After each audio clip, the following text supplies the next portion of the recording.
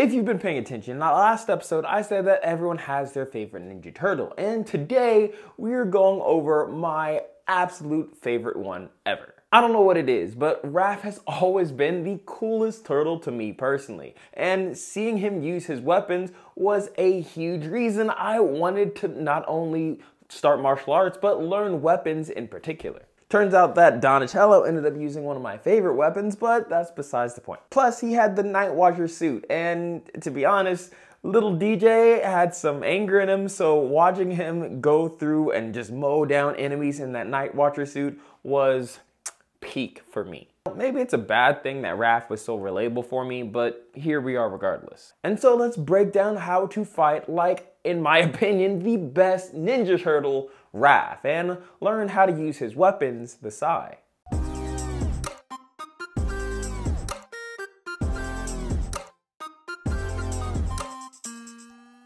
What's up guys, it's the only ninja wearing aviators and a superhero hat and welcome to the Modern Ninja channel. And for those of you that don't know, this is the next episode in my series of breaking down the entire Ninja Turtle family. And uh, if y'all blow this series up, I will not only do Splinter, but I'll even do Casey Jones. Ooh, man, Casey Jones was legit. So if you want me to get to those guys, definitely drop a like and comment down below which Ninja Turtle is your favorite. But let's, just like the others, get into breaking down and learning how to fight like Raph. Now, if we're gonna learn how to fight with Raph, we need to understand who Raph is. Raphael is the red rage-filled turtle. Each of the turtles is how like has their own niche more or less that they fit into. Leo has his discipline and skill, Donnie has his tech and intelligence, and Raph puts his superior strength to excellent use. Just like the other Ninja Turtles, you're gonna want to learn ninjutsu for the stealth and tactics that it will give you. Obviously, they're Ninja Turtles. I mean, it's in the name.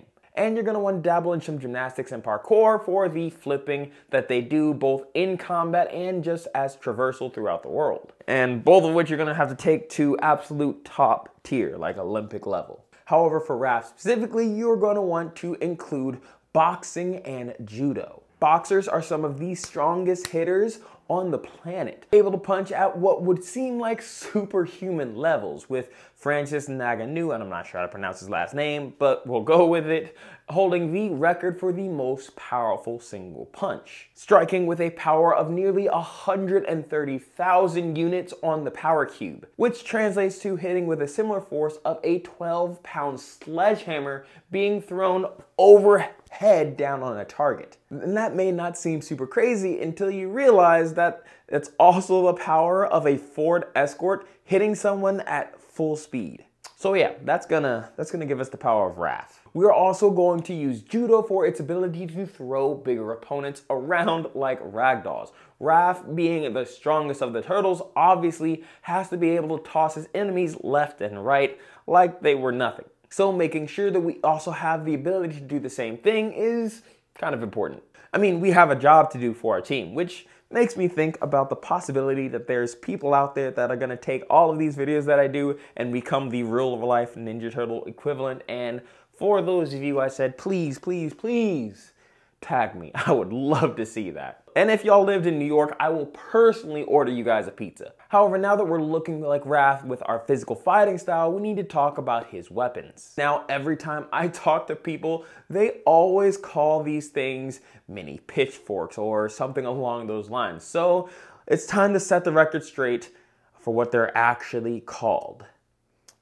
They're called Sai. S-A-I. Sai are a Japanese melee weapon used for blunt strikes and stabbing. Yes, you heard me right. They're used for blunt strikes and stabbing, which is kind of surprising for most people because they are so often depicted as blades with Raphael and Elektra using them as blades many times. But traditionally, they're actually rounded or octagonal shapes. And uh, like many other Japanese weapons, they started out as farming tools, and eventually farmers would use them to defend themselves against attackers, and then that became the weapon that they are today. In fact, they were specifically used to catch and break swords, which the fact that Raph and Leo fight all the time is, again, perfect. And to learn them, we are going to have to dip into Okinawan martial arts. Notably, Kobudo is a great one to start with, having five different forms or kata that use the sai in particular. This will teach us how to effectively use them, and if we mix in some XMA uh, weapon work, we'll be able to do all the kind of spins and tricks that Raph knows how to do as well. Because yes, although weapon proficiency doesn't necessarily uh, get used in combat, being able to do it helps you understand your weapon in ways that other people would never be able to. Which takes us to the Raph inspired move that we're gonna learn right now. So we're actually gonna have a tutorial inside today. We're gonna take my sai and learn how to do this move right here. Now, here's the thing, there's a huge caveat to learning how to do something like this with a sai. One, either you have to have some decent finger strength, well, you kind of have to do, have that regardless, um, but you'd also have to have relatively light sais, which I will leave linked down in the description. But two, you have to make sure your sais have a significant uh, bend on the inside of the, the, the prong. If it's not bent quite enough, it won't work. For example, these are significantly heavier and uh, a significant less bend in the prong, if you can see that there, which makes these a lot harder to do. Not impossible, but significantly harder, so just keep that in mind.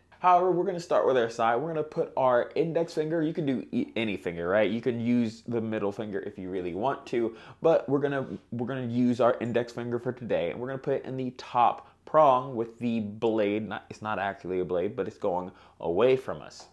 Obviously, if you're using a bladed side, don't do this, but we continue. The key is to get the tip to go up and the back to go down, and that makes your circle as you Wiggle your finger on the inside to keep the spin going. Getting it started is not really the hardest part though.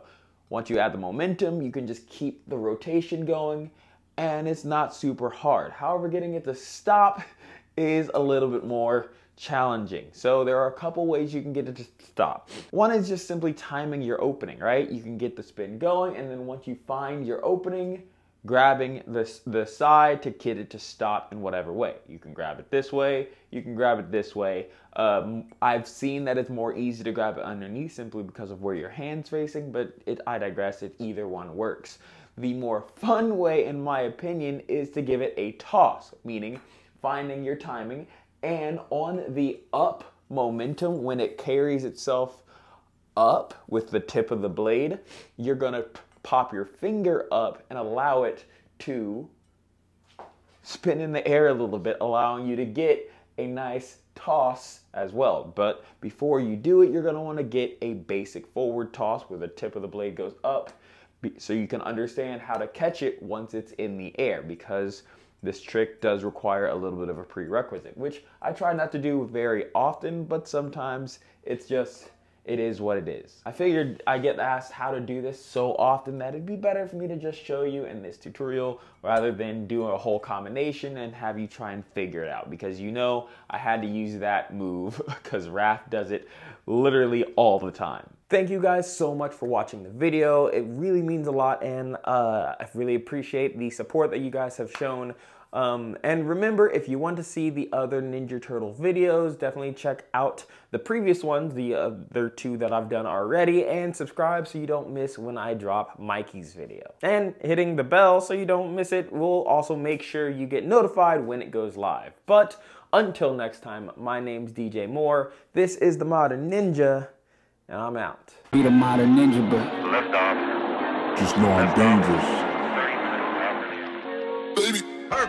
I'm on that Bruce Lee, flow like water, state of mind. Got me going farther than I ever thought I could have been. Gotta grab a sheet of paper as you know I got the pen. Anybody want to smoke your whole career be looking grim. Out here flashing change while your boy been in the gym. Watch me spitting flames while the frogs try to.